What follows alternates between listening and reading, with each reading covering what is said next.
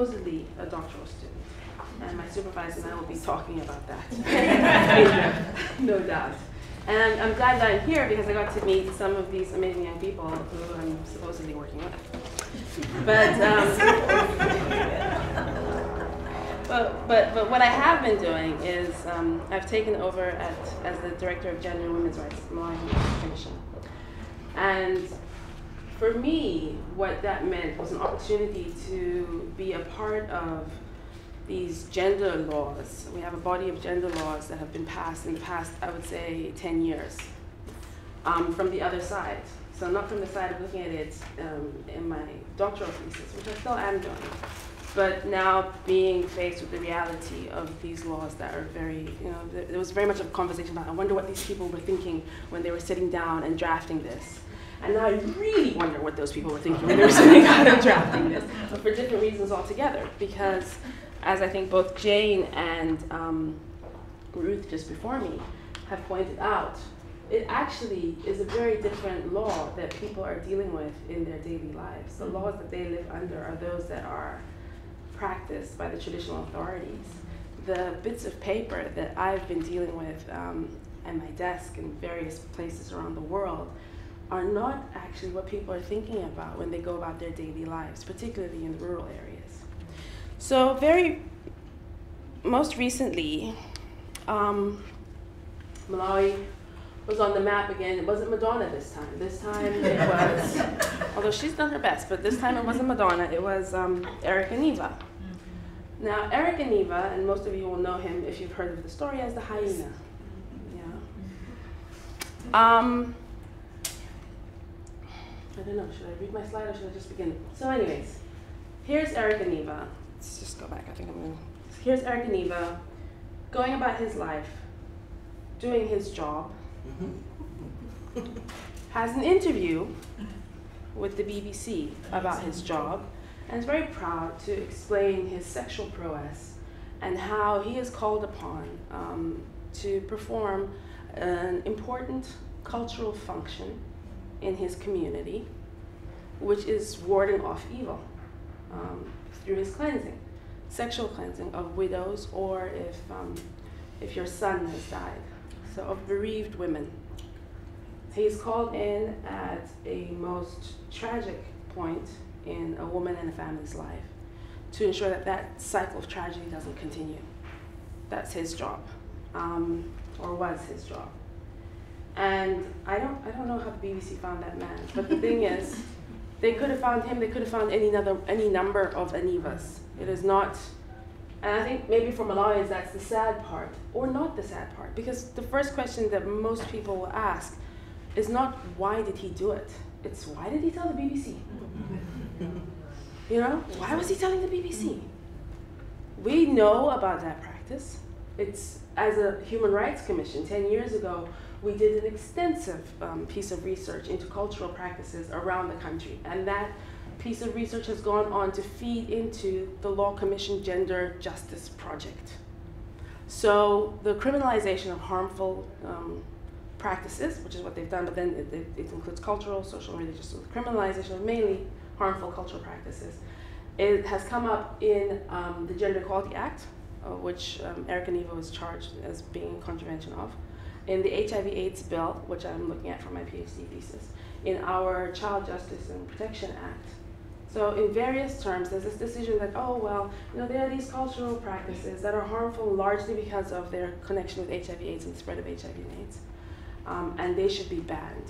And, um, and so you know, it's come out in all of these laws. And for me, I've been thinking about what happens when we try to use the law.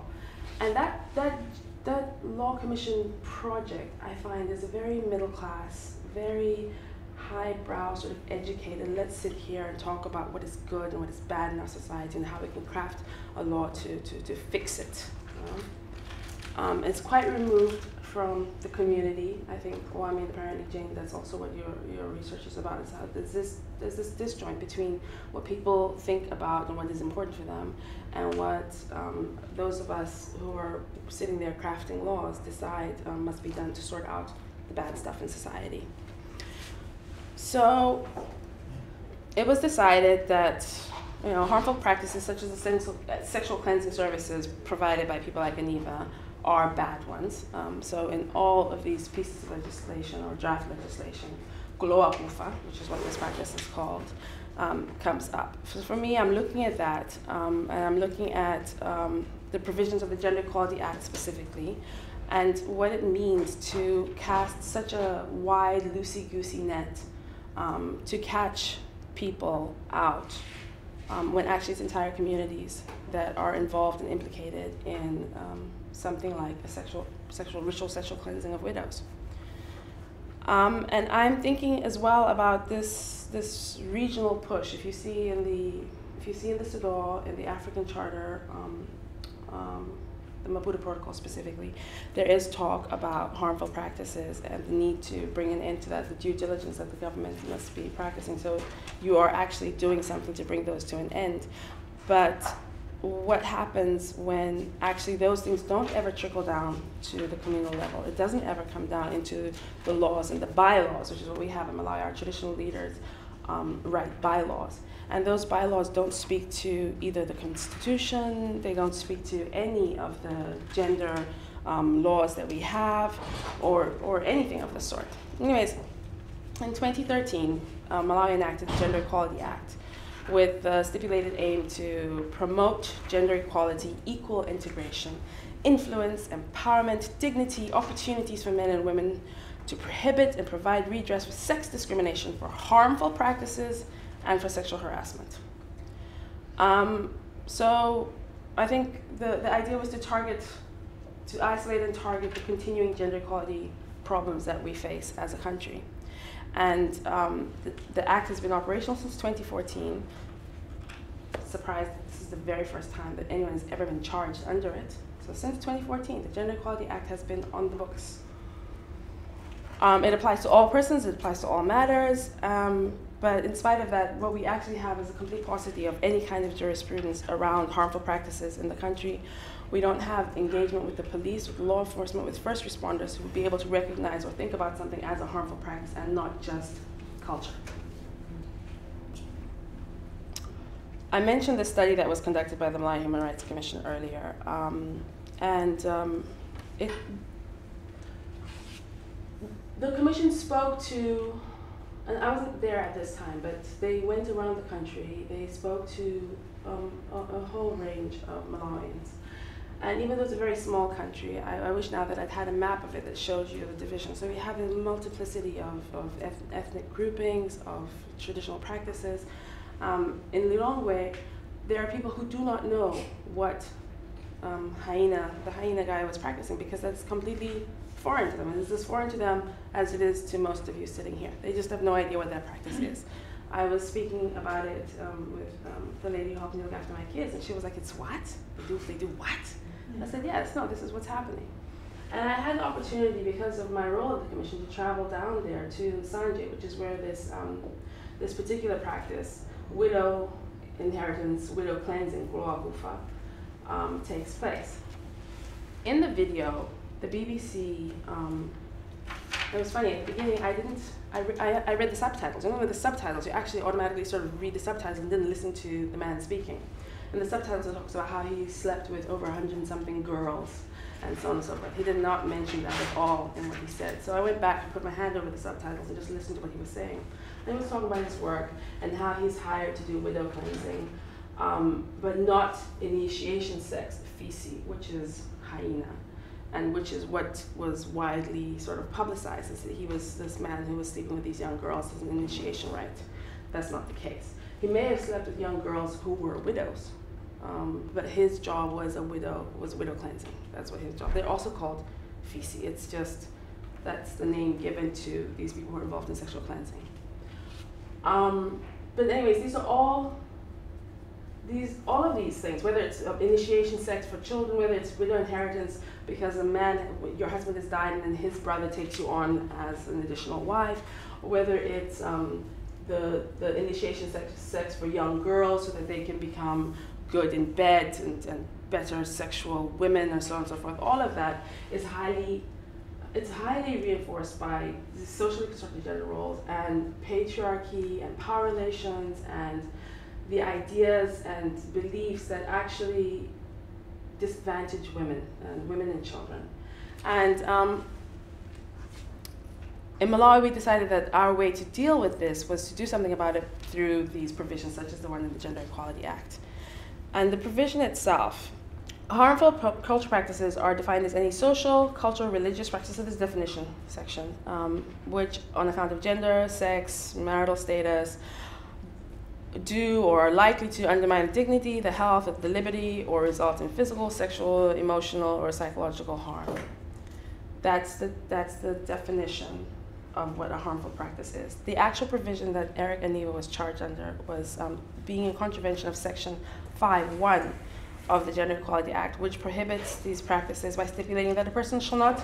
And this, for me, is is is really where I have um, intensely conflicted um, by the whole Eric Aniva case. And perhaps I need to come clean and say that in my privileged role at the Malawi Human Rights Commission, when the BBC report came out, now what we don't have that's very no.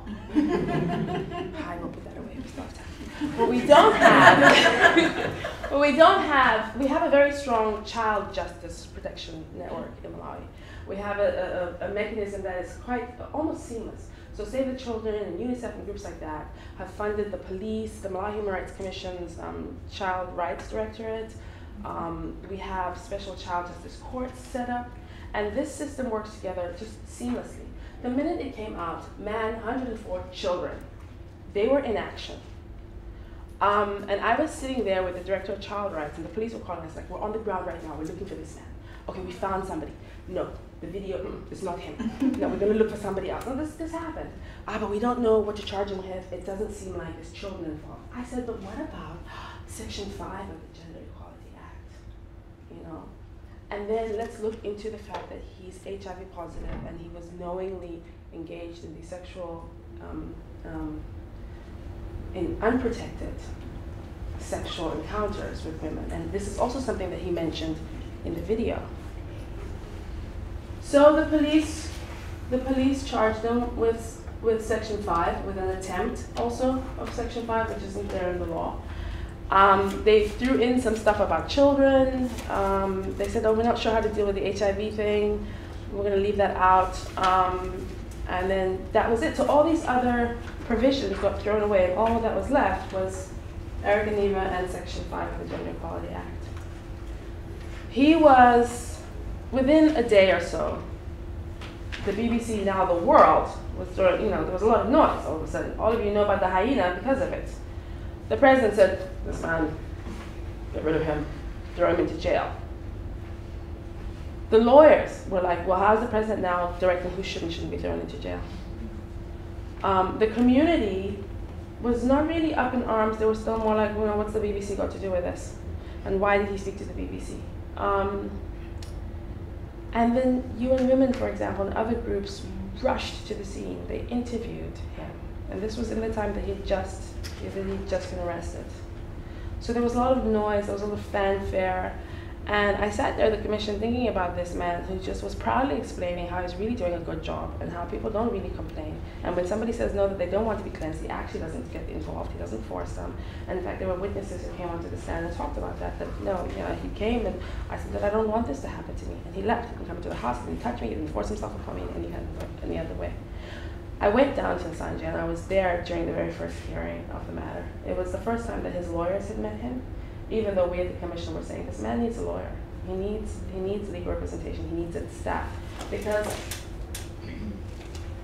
a person should not commit, not engage in. I feel like that's both him and the the woman who's there as a part of this harmful cultural practice. Not subject another person to. That's the family who bargained with Eric Aniva, who said, look, you know, no, 6,000 kwacha, mm, it's a bit too much, let's make it 4,000. Uh, maybe, okay, fine, we'll, we'll end at 5,500, 5,000, that's about 100 rand. Um, or encourage, which is even the traditional authorities there in that community and the entire community. It's not that this isn't something that didn't happen. This happens all the time. One of the things that Eric himself said is that, well, you know, fine, I guess I've been thrown into jail, but there's other guys who are going to just continue the work, um, the good work. So I don't know what we've actually done with this provision. I feel like if we read it correctly, then all of these people um, are involved in and ought to be standing in the witness stand beside, um, um, ought to have been prosecuted alongside Eric Aniva. It was a novel prosecution. Um, it raised issues of women's human rights, gender equality, um, and so on and so forth. We rushed down there as the Human Rights Commission because under the Gender Equality Act, we, at the Commission, are supposed to be the enforcers of the Gender Equality Act. And it's, it's really pathetic how I was just like, we will go there. We will show them how we, under the Act, are supposed to be here to give help when it comes to any dispute on gender. And the magistrate was just like, uh, there's no gender here. This is a criminal case. We're going to deal with this as any other criminal case. Uh, the prosecution were like, we will expose you to the NGOs that you are. You've come here from the Malawi Human Rights Commission. Mm. The defense were like, no, you're obviously here just to help the prosecution, so please can you be on your way and get out? And so we had to sit down. And none of my gender activism, none of my, just, you know, the first witness came in. She was this old, old lady. And the prosecution said, you know, we'd really like for her to be able to give her, her evidence in camera. And the defense said, well, no, but this isn't a sexual offenses case because that's all they have to go on is this provision. There are no regulations guiding how it's supposed to how it's supposed to be handled in the court. There's nothing to talk about what what would amount to having committed, engaged in, uh, uh, subjected another to, or encouraged. There's no it's it's just just, just completely novel. You know, there's nothing. Um, the defense said, no, but it's not, it's not in the CP and EC. You know, it doesn't say anything about sexual offenses. So no, she must give her evidence here. And so she was forced to. And Malawi is a country where still to talk about sex is practically taboo. You know, um, and still when the kissing scene comes on in the movie, I quietly cringe on the inside and wish I could leave it on watching with my father. You know, that's the kind of community that we're in. And so for this woman to stand there in open court, an open court in that, that community that I know that I'm, let me just show you, that's Eric. Open court there means, so this was him at the front. The rest, this is closed as far as that open court situation was. So the entire community was there. The entire community of his peers, of her peers. The magistrate in this case actually recused himself. And I know I'm skipping all over the place because I kind of want to get it all in so that you, I wish that you could have been there with me. The magistrate, or the original magistrate recused himself and says, I can't be a part of this because he too is a member of this community. And he's the one who told me, you know, that his lawyers haven't even been to see him. I've been visiting him in jail all these days. Nobody has come to see this man at all. Nobody's come to explain to him what on earth is going on. His, luckily, because, well, because the court is, um, you know, an hour away from Blantyre, and they had to use the, the, uh, the chief resident magistrate of Blantyre. There was some time for his lawyers to have a conversation with Aniva before we went into trial. And now this old lady that I was saying, she came, she stood there, and the crowd of hecklers, the translation, you know, um, of, so she gave her evidence in um, a version of the vernacular. It's a bit odd. It's not the usual Chichewa. We don't speak the same language all the way across the country. I could understand what she was saying, but there was uh, mythicism and, and ways of talking about things that would only be clear to you if you were from that community. So, you know, for example, the, the, the magistrate asked, so then what happened? You know, she's like, um, when the fire, and then the fire, and to put the fire out so that the fire doesn't continue. And then the crowd starts laughing. And they had a set up of like, they had nine witnesses that were going to come. And I knew at that moment that nobody else was going to be able to come forward to talk about how they did not want to participate in what had happened. She said, I didn't she said, I didn't want, I didn't want this to happen to me. So they asked her, I'm gonna stop. They asked her, why did you, why are you here today? I've heard that people have been saying that Eric Aniva and I are married, and I'm here today to say that it's not true. I'm not married to Eric Aniva. You know, and um, and then the crowd laughs, and and then, oh, but okay, but did you have sex with this man? Oh, I slept sideways. You know, and they pestered her and they hammered at her until finally she had to admit that yes, there was a sexual encounter, yes, there was penetration. And if it happened in about 2012. So all of that was for nothing in the end. In the end, he was convicted on the basis of his own shaky confession, given amidst the media circus, the president saying that you should be in jail, um, him being picked up for a proud interview that he'd given, um, the UN women there at the, at, the, at the police station to ask him what on earth was going on, the police themselves regarding him as a joke and a, and a myth. Um, and um, so that confession was the strength of his conviction. And the magistrate gave him two years. Nowhere, and I've, I will share it with anybody who's interested, nowhere is gender mentioned, as they had said to us at the time when we asked to be joined in the case. Gender is not an issue in this case. Um, nowhere is it discussed as in any kind of depth or with any kind of feeling. Um, and I'm just wondering, what was the point? What have we done besides make sure that nobody else in that community is going to show off to the BBC that they've got like some real sexual prowess? Um, nobody else in that community is going to be open to changing this, and no survivors, women who did not want this happen to happen to them, girls in many cases, because we talked about child marriages. Many of these widows are actually girls um, are going to be able to come forward because they know that if you do, then you will publicly be heckled and laughed at and shamed and forced to. She was on trial, much more than Eva was in that case. Um, and I'm sorry if I didn't put in all that I have. I have like case law and section 12. Please, oh, it's in the questions.